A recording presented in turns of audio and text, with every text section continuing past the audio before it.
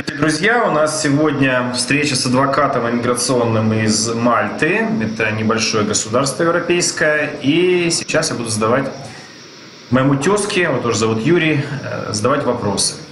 Юра, привет, как нас слышно? Здравствуйте, Юрий, слышу вас отлично. Хорошо. Как давно вы работаете миграционным адвокатом? И... Мы на Мальте работаем уже более 10 лет. Вот, а, поэтому, да.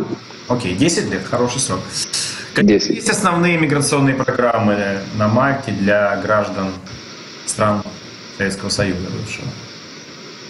Значит, смотрите, для граждан стран Советского Союза есть три основные программы.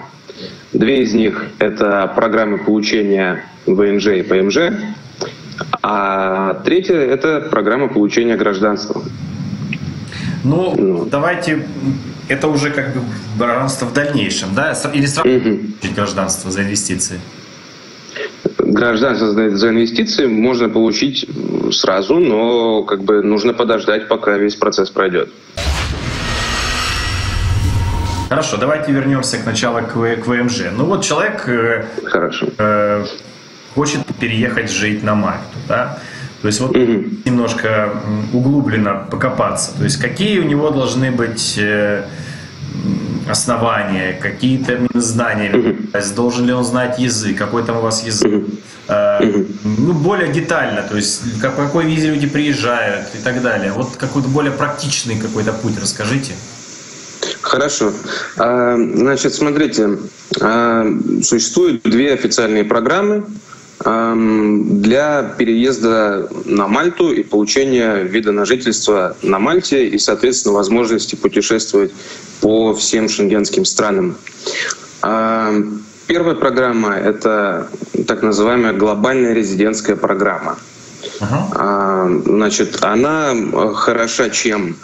Она хороша тем, что не требует э, каких-то больших инвестиций, и все, что необходимо для того, чтобы участвовать в ней, это выполнить э, ряд условий.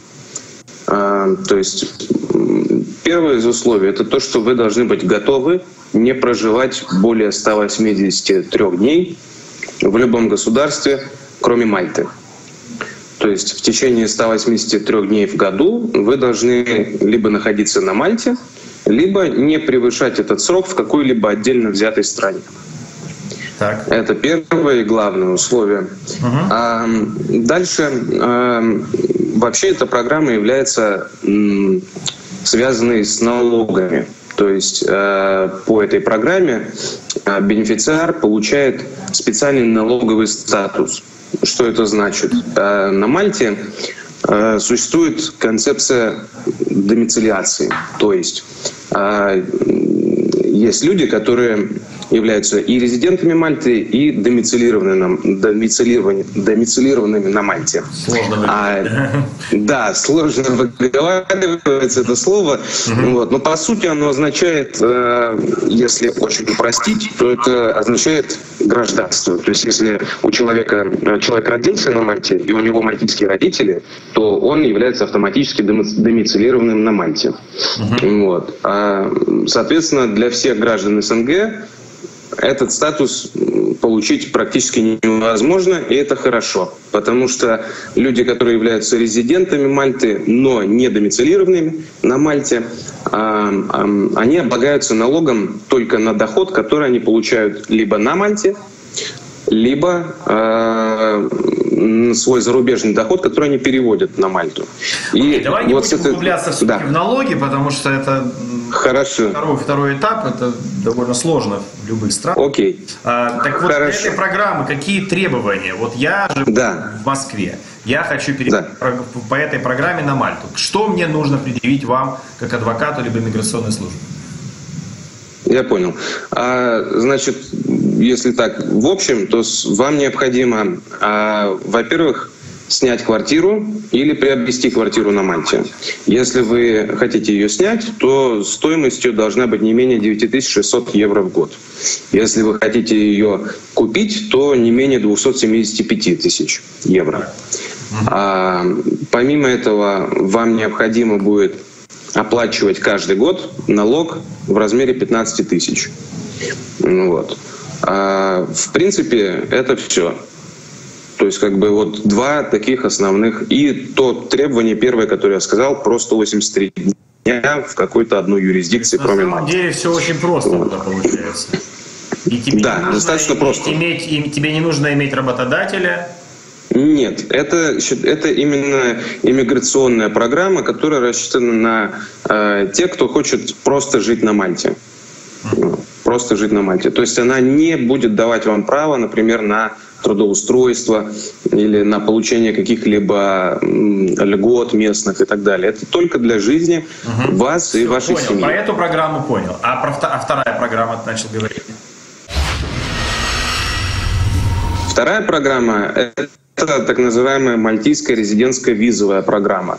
Uh-huh. Это более такой, э, как сказать, резидентство более программа более обширная, потому что она, во-первых, дает вам статус постоянного резидента, и этот статус у вас пожизненный.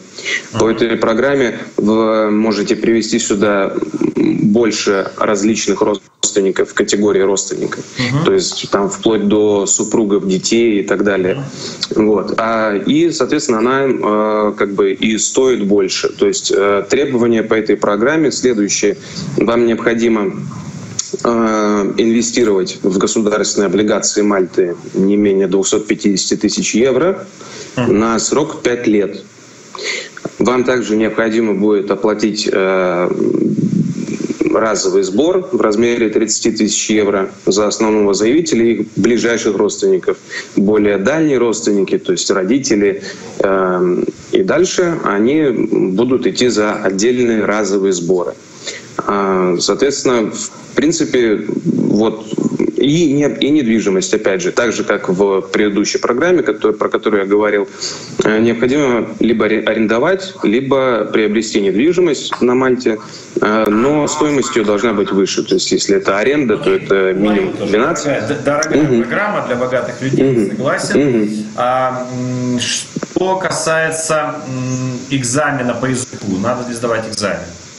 Нет, никаких требований по языку нету. Необходимо просто ну, быть способным что-либо говорить на английском. То есть а язык уровень английский на Мальте? Вообще язык на Мальте э, два государственных языка. Это их родной, мальтийский и английский. Мальтийский язык — это такая смесь э, различных языков Средиземноморья вот, и арабского. То есть там 60% арабского и 40% — это сборная солянка со всех окрестных мест.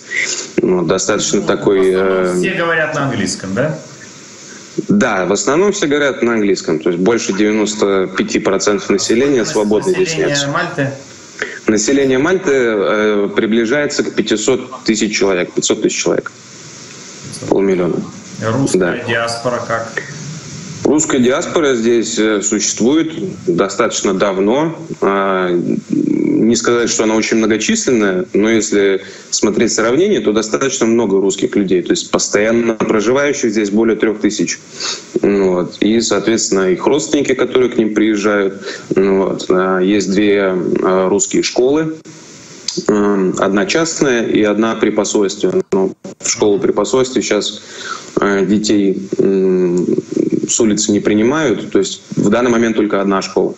Ну, вот. А что еще из русского? Ну, бары, рестораны, магазины. Ну, вот. То есть совсем оторванными от родины вы на Мальте себя не почувствуете. Большой плюс, что, конечно, язык 95% английский, это круто. Да, это, это вообще одна из статей доходов мальтийских, потому что здесь очень много а, школ по изучению английского языка. Вот, это тоже один, а, одна из причин, почему сюда люди приезжают, в том числе из СНГ. И вы занимаетесь тоже визами учебными? Или только инвестиционными? Учебными визами нет, мы не занимаемся.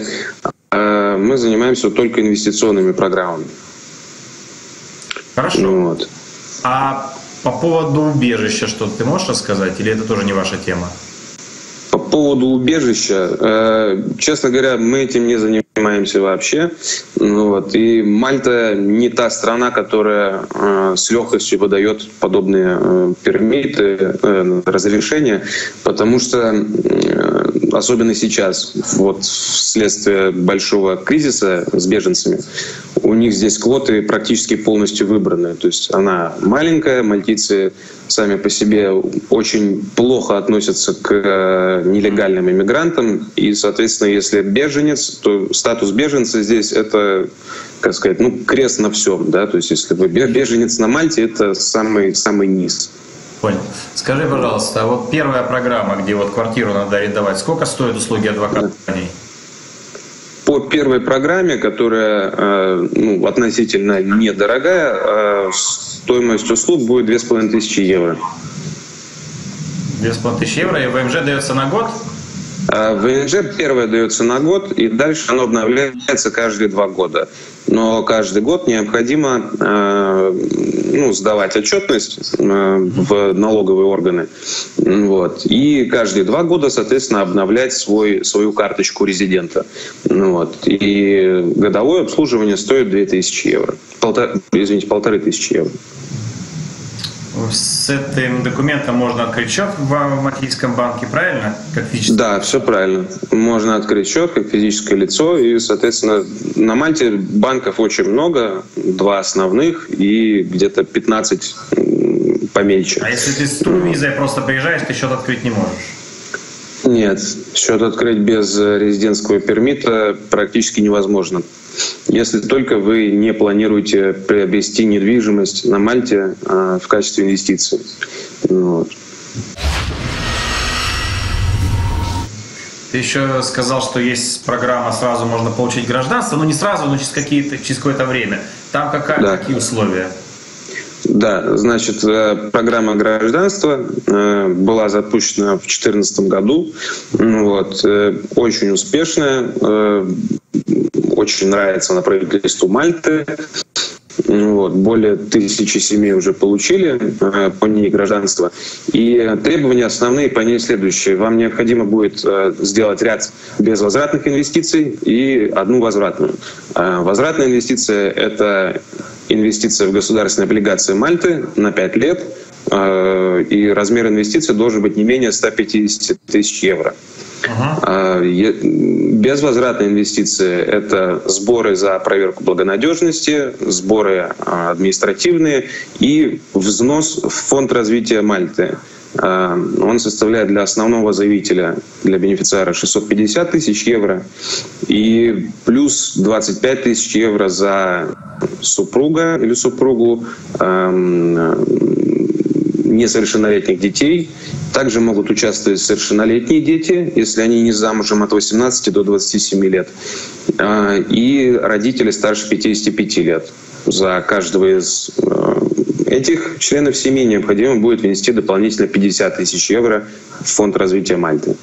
Вот. А, это по деньгам. А, соответственно, также необходимо будет либо инвестировать в недвижимость, либо а, то есть приобрести жилую недвижимость, либо арендовать ее. Это 16 тысяч в год, если это аренда на 5 лет, срок минимальный 5 лет.